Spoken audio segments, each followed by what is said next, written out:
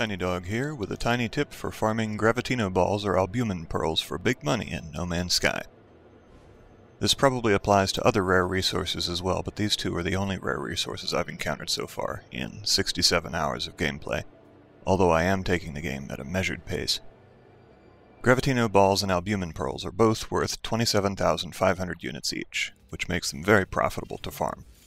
The main drawback is that neither of them stack, so you'll quickly run out of inventory space and you'll have to visit a sales terminal frequently. There is actually a workaround, or game exploit, that allows you to stack these items, but I'll cover that in another video.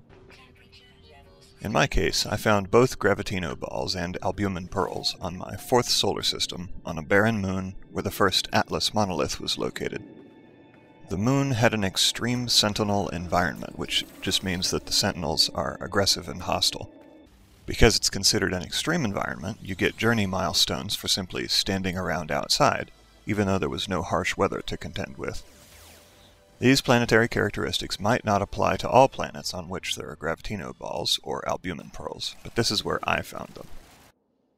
When you use your scanner, rare resources appear with a green exclamation mark icon. Gravitino balls look like shiny red spheres that light up brightly when you approach them. Be aware that a nearby sentinel might come to investigate once a Gravitino ball lights up.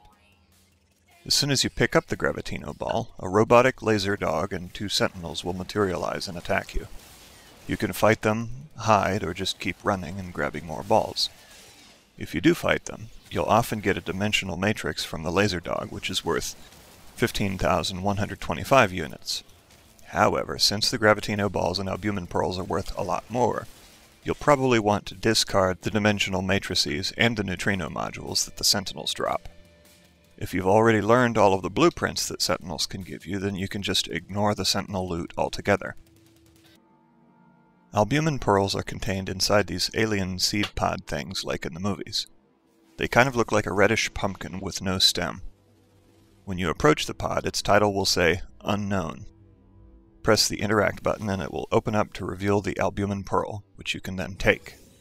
Just like with Gravitino balls, as soon as you touch the albumen pearl you'll get attacked by a laser dog and two sentinels.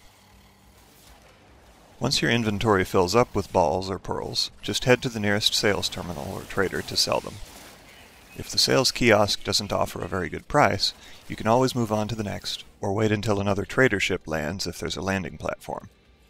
If you want an even better price, then you can head up to the space station and see if the sales kiosk or one of the trader ships there will give you plus 90 to plus 100% price. However, traveling to the space station and hunting for a good deal can be pretty time consuming, so you may want to simply stay planet-side and harvest more resources. You can expect to make upwards of 800 or 900,000 units from a single load.